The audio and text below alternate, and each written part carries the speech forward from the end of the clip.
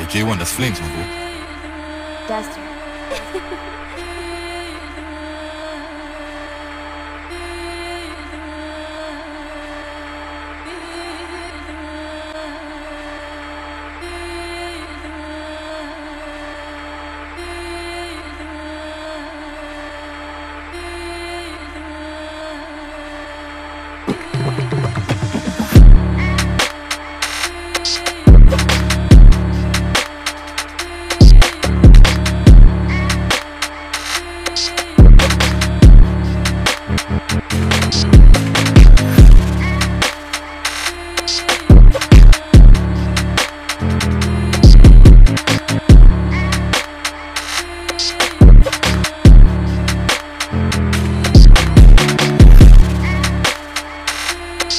We'll be right